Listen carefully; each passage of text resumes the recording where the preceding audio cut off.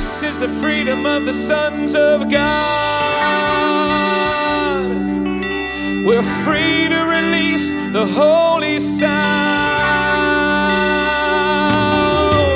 This is the freedom of the sons of God.